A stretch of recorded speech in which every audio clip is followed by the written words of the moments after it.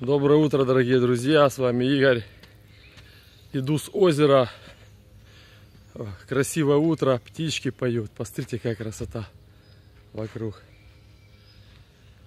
А, окунулся, пробежался. Сначала пробежался, спотел немножко.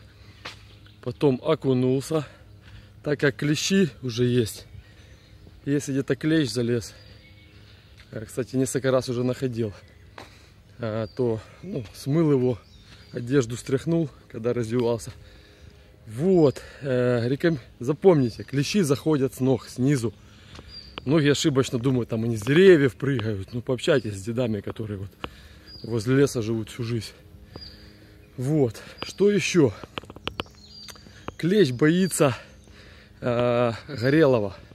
То есть, если вы заходите в лес, видите где-то костер горел, уголь, рекомендую потоптаться. Чем свежее уголь, тем э, вероятность, что клещ на вас залезет, уменьшается.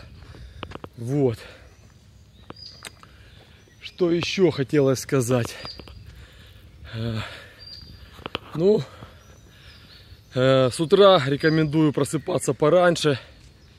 Первый завтрак, лучше э, с два завтрака. Первый завтрак это где-то ну, в районе там 5 утра, если это может быть орехи, изюм, финики, то есть э, э, фрукты.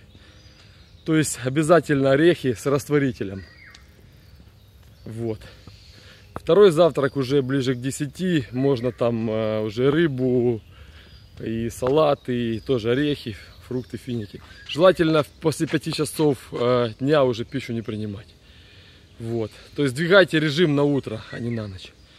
Потому что ночью организм уже начинает очищаться вечером. Вот. Благодарю за внимание. Вопросы пишите под этим видео. И будьте здоровы.